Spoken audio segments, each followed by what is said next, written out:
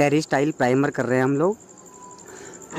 Terrace tile primer करने का मतलब ये है कि टाइलें हमारी जो है अक्सर करके चिकनी होती हैं सैरेमिक टाइलें होती हैं ये। कई बार आदमी रफ़ टाइलें भी लगवाता है। तो इन टाइलों को थोड़ा सा खुरदुरा करने के लिए